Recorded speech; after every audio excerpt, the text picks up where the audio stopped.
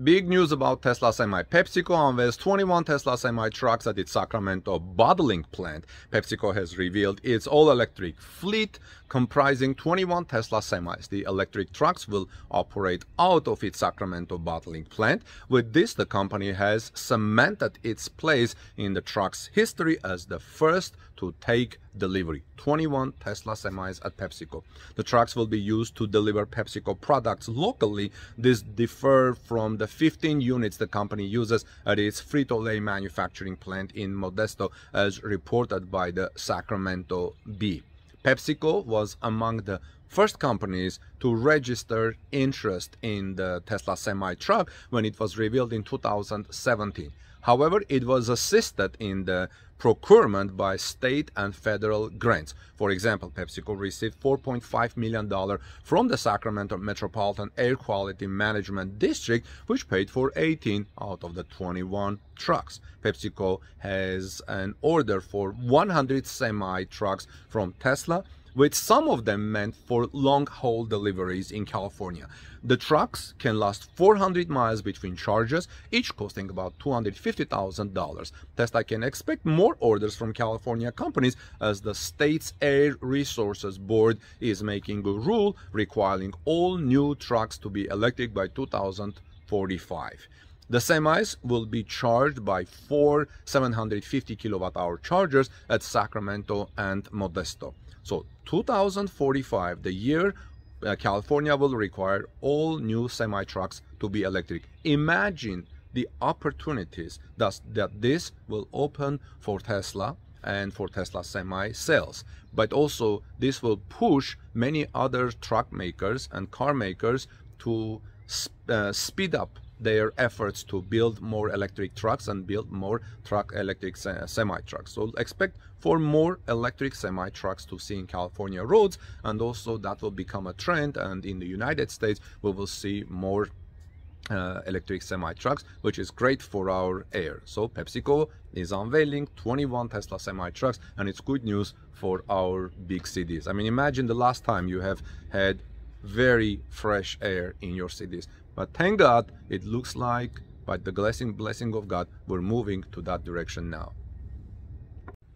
Tesla will soon introduce a new LFP home energy storage system. What I mean by that is Tesla will soon be releasing a new and improved version of its very popular home energy storage system, Powerwall. The third version of Powerwall, referred to as Powerwall 3, will be cheaper for Tesla to produce while also offering benefits to owners. If it's cheaper for Tesla to produce, it will be cheaper for you too. While Tesla has not yet officially announced Powerwall 3, the new product first surfaced last year when details of an internal meeting leaked in which it was revealed a new home energy storage product was in the works. Not much was said about the new product except that it would allow for easier installations, have improved aesthetics and higher performance than its predecessors. Tesla was intending to pilot the new Powerwall 3 with employees in 2022 and now it looks like the company is preparing for a public launch of the new product. According to a report by Electrek, Tesla has begun applying to have Powerwall 3 approved and certified with some utility companies in the United States. The report states that the, some utility companies have already certified Powerwall 3, meaning a launch of a new product could happen very soon. Now let's talk about the specs of the Powerwall 3. Here are the Powerwall 3 specs. While the application that uh, the Drive Tesla so didn't reveal the unit specifications. Drive Tesla publication has been able to obtain some information on Powerwall 3. According to their source, one of the biggest changes is on the inside, as the company will switch from using lithium NMC battery cells to prismatic LFP, lithium iron phosphate cells. This will make Powerwall 3 cheaper to produce and follows the same change Tesla made with its utility scale Megapack system last year and the Model 3 rear-wheel drive before that. Drive Tesla says we're also told to expect the same 13.5 kilowatt hour energy capacity as the existing Powerwall 2. However, the new unit will now come with 15.4 kilowatt of uh, peak um, backup power compared to the 10 kilowatt in the current version. On the outside, Powerwall 3 will look much like Powerwall 2, but it will have a significant smaller form factor than its predecessor. Although the Drive Tesla was not provided uh, with the exact dimensions, they said they did see a photo of the new unit, and while it's only about 5 inch shorter than Powerwall 2, it appears to be about 25% narrower. The unit will be made of die-cast aluminum and feature no adhesives sealing with Tesla instead using weld sealing for the Powerwall 3 enclosure.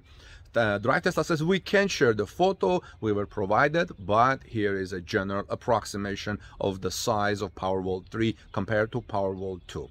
Sadly, we don't have any information on how Powerwall 3 pricing will compare to Powerwall 2. Currently, Powerwall 2 sells for $9,200 for a single unit, $17.2 thousand for uh, two units, and $25,000 for three units. Tesla recently started taking orders for Powerwall again without requiring it to be bundled with a solar purchase at the same time. Earlier, Tesla required a bundle with solar purchase, but now Tesla does not require that. The good news is that Tesla is going to be using LFP battery cells in the Powerwall. That means because LFP is cheaper to make um, iron is uh, widely available and hopefully Tesla will lower the prices of Powerwall 3. Remember these words, once Powerwall 3 is available, it may be lower than the current prices. So we'll look forward to that. Tesla Giga Berlin is helping to develop the Brandenburg success story, says the state's economic minister Jörg Steinbach. He says it's true that the state is benefiting from this. The Tesla effect is real, he says. So let's take a look what effect he talks about. Tesla started production in Germany of, at Giga Berlin just over a year ago, but is already making a big positive impact on the state of Brandenburg where it is located. In the long term, Giga Berlin should produce 1 million electric vehicles vehicles per year and battery cells for Tesla's uh, uh, cars. Local politicians recognize that the arrival and activity of Tesla contribute to the positive growth of the economy of the federal state. Here's a quote for you. Yes, Brandenburg is gaining momentum. Brandenburg Minister of Economics Jörg Steinbach, a big Tesla supporter, told Tagesspiegel. He says, this is real turning point that proves the economic and therefore social success of this state. He also said, now the state is clearly catching up in important economic key data compared to the Western federal states, he added.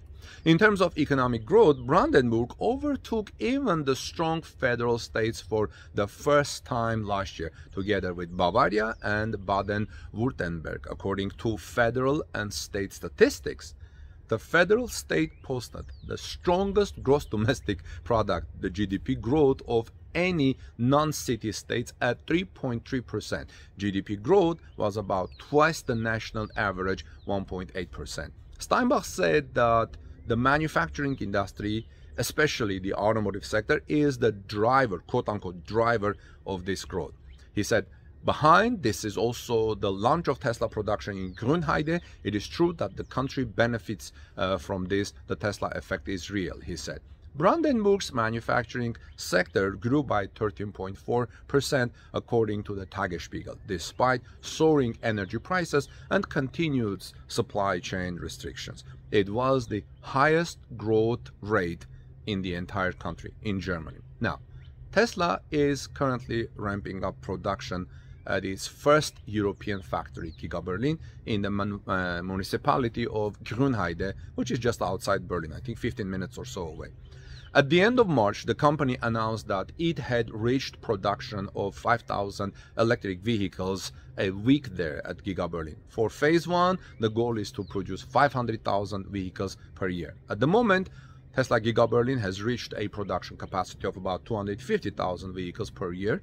For phase one, 12,000 employees are planned to work at Giga Berlin, and as of March, there were more than 10,000 people working at Giga Berlin. Tesla is the largest private employer in the region.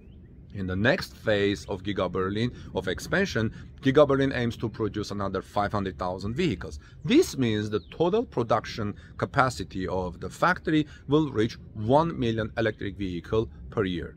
Thanks to this expansion, Brandenburg will be able to develop even further, steadily occupying the position of one of the fastest growing states in Germany. Now, keep in mind that Brandenburg is in eastern Germany, which used to be under Soviet uh, influence before the unification or reunification of Germany.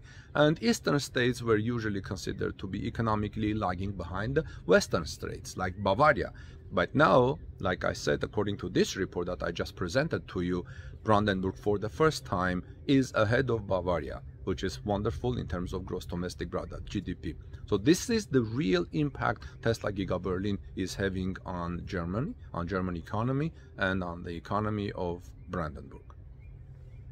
Thanks for watching everyone. This is Armen Hareyan from TorqueNews.com. If you found these reports interesting, please give us thumbs up and like this video and subscribe to our channel. Also ring the bell after you subscribe so you don't miss my next uh, coverage. And also let me know your thoughts in the comment section below. God bless you and your families. Have a great day. I'll see you in our next report.